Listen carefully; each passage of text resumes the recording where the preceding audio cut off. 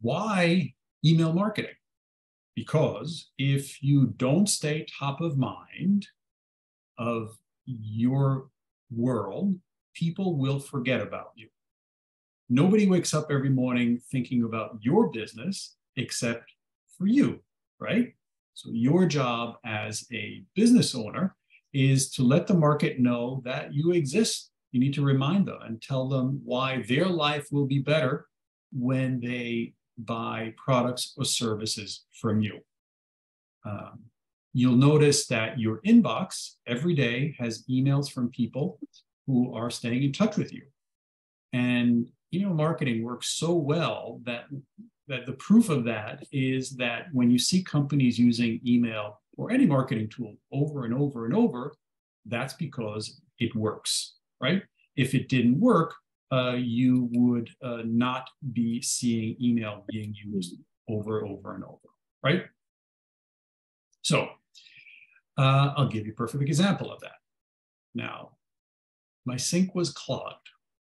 That's not really my sink, but I thought it was a better picture than a really clogged sink. So, kidding aside, so I had a problem in the house. I called a plumber. The plumber came. The plumber fixed the problem, and then the problem the plumber left. Six months later, I had another plumbing problem in the house, and I did not remember the name of that plumber.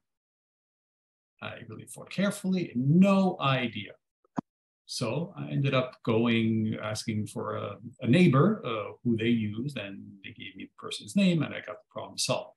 Now, what if the first plumber every month sent me an email with information about their business and something that presents their expertise in terms of what they do and how they help their residential customers, their commercial customers, and so on. Chances are I would have remembered that name and I would have said, oh yeah, there's that that plumber, and you know, every month they send me an email. Pretty cool, looks pretty sharp too. So let me call them that person up because I remember their name, right? So whether you're a plumber, a CPA, you sell used cars, or you do manicures, same thing applies to you. Your job as a business owner is to remind the market that you exist because the market will forget about you unless you tap people on the shoulder on a regular basis and say, hey, this is me. This is why I'm really good at what I do. And next time you have a need for either a product or service, please contact me. That's the bottom line. Now, how do we do that?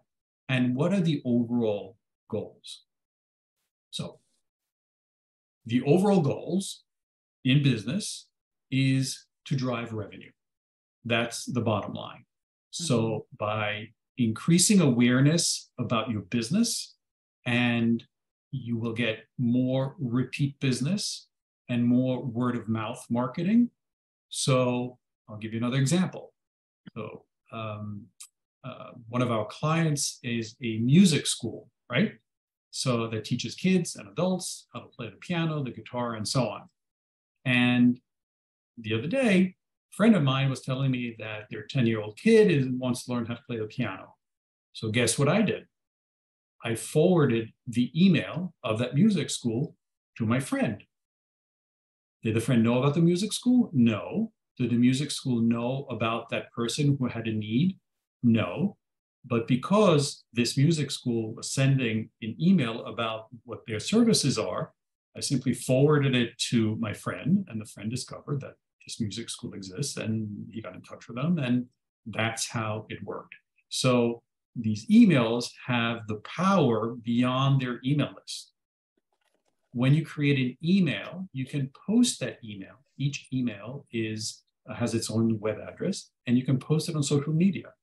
So other people whose email address you don't have are able to um, see that email and ideally even sign up for your email list.